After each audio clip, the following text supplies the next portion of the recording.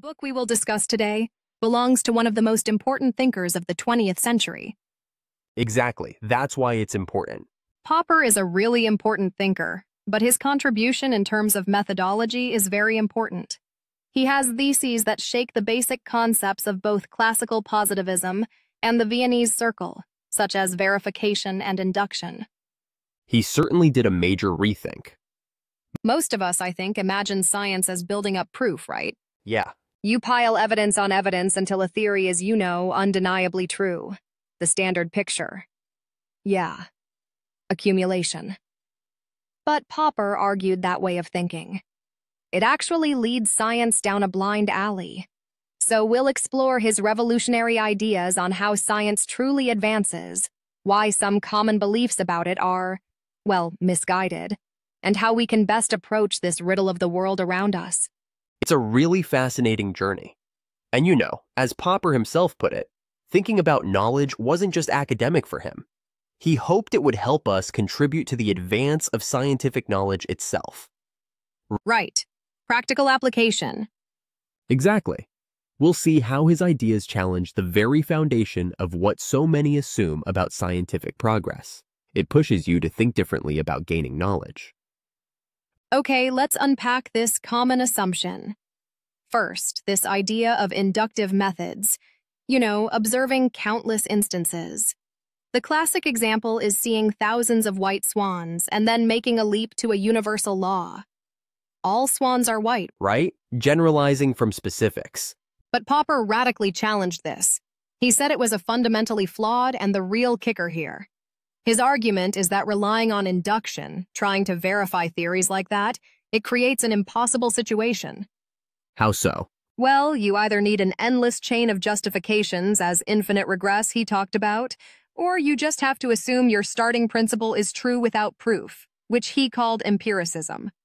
Neither sounds very scientific. Exactly. Dead ends, according to Popper. He emphasized that if this principle of induction could be tested, science itself would disprove it constantly. You know it only takes one black swan To shatter the whole, all swans are white theory. Okay, precisely.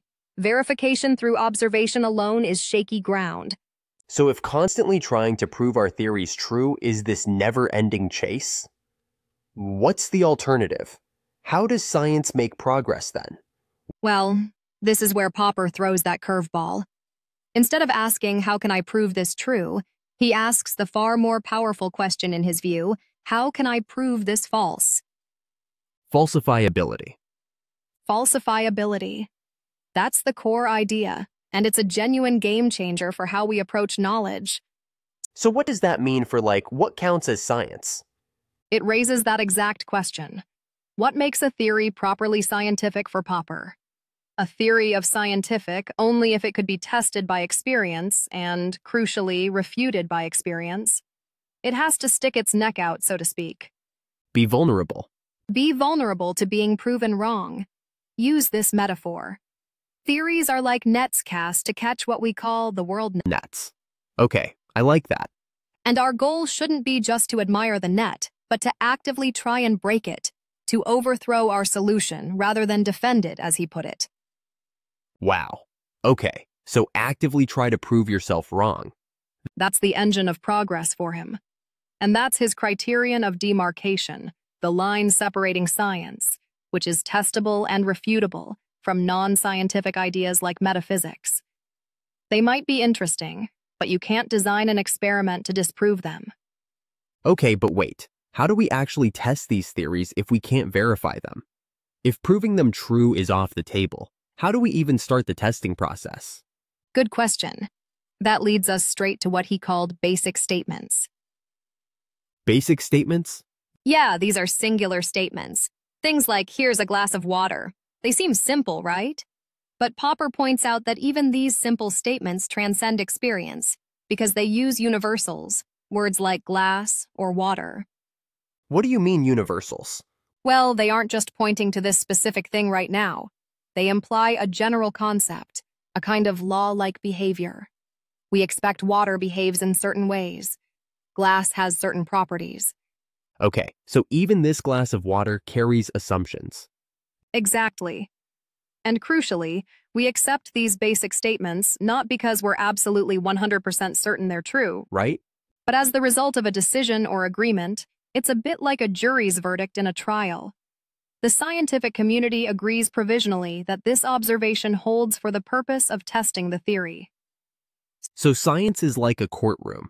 Theories on trial, basic statements as evidence. But the jury has to agree on the evidence first. A useful analogy, yes.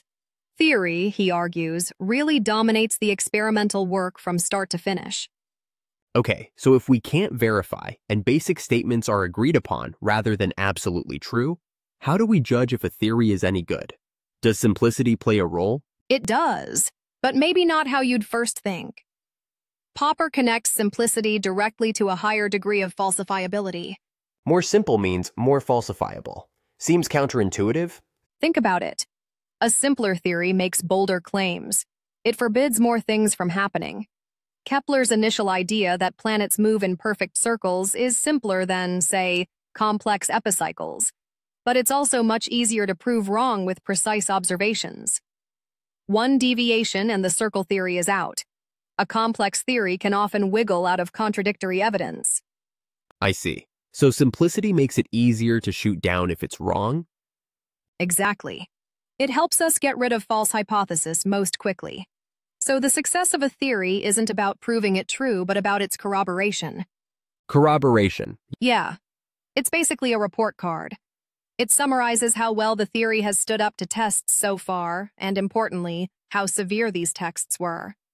So it's not about probability, like this theory is 90% likely to be true. No, not probability in that sense. It's about resilience. Yeah. How much rigorous testing has it survived?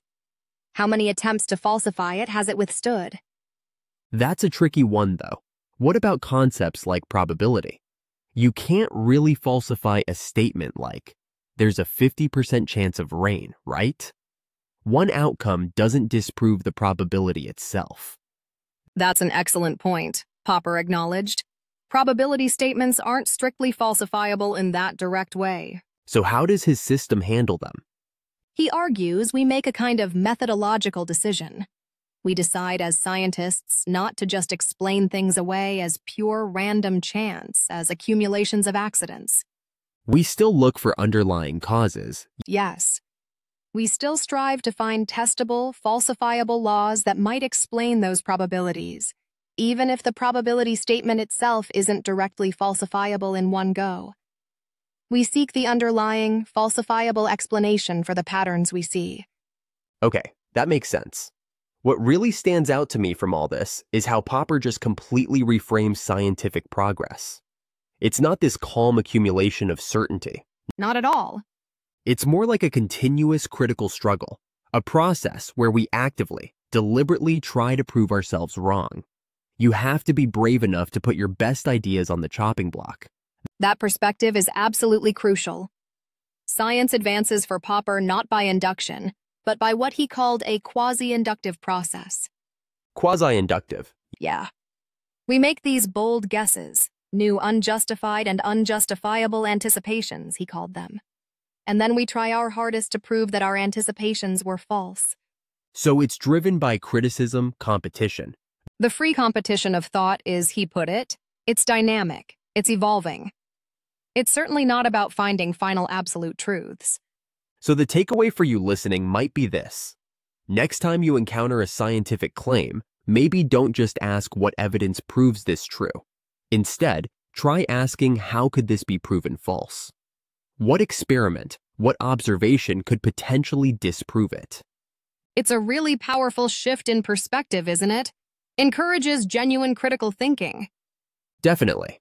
Yeah. It really challenges us all to constantly question, constantly test, and always try to refine our understanding, knowing that, you know, there's always more to learn, always the assumptions we need to drag out into the light and examine critically. It fosters a kind of intellectual humility. And a relentless search for better explanations, even if we know they'll never be perfect or final. Exactly. The quest continues.